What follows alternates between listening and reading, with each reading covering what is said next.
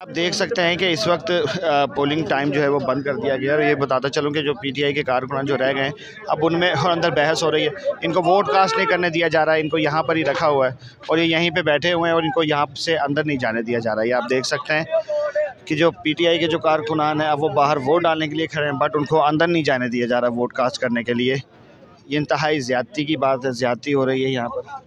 और उनको वोट नहीं डालने दिया जा रहा।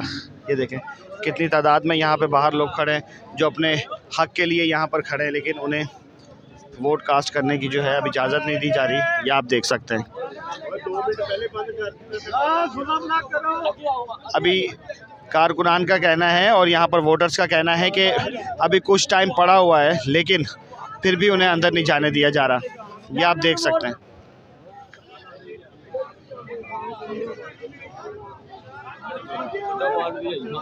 भाई ये अंदर क्यों नहीं जाने दिया जा रहा? भाई टाइम खत्म हो गया ना आवाम को चाहिए अपने टाइम के मुताबिक उठे आए। तो नून लीगियों के लिए कोई टाइम नहीं है यहाँ पर पीटीआई के कारकुनान को जो है वो रोक लिया गया है। नहीं सर ये आप बिल्कुल गलत बयानी कर रहे हो या जितने खड़े हैं नून लीगिया खड़े हैं पीटीआई वाले तो यहाँ पे है ही कोई नहीं। तो फिर ये आप अंदर क्यों नहीं जाने दे रहे? किसी एक से पूछो यहाँ कोई है पीटीआई को डालने वाला? हैं?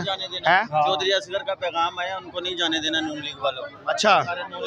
हाँ ये चौधरी साहब ने ये जो मुलाजम खड़े हैं उनको स्पेशल पैगाम भेजा है कि नून लीग वालों का टर्न आउट बहुत ज़्यादा आ रहा है। इंतजामिया ने तो टाइम ही नहीं दिया भाईजान।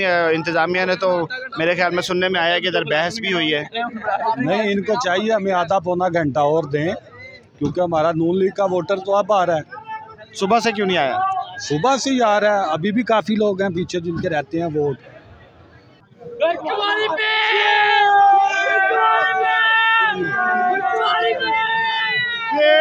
नाजन आप देख सकते हैं अंदर नहीं जाने दिया जा रहा।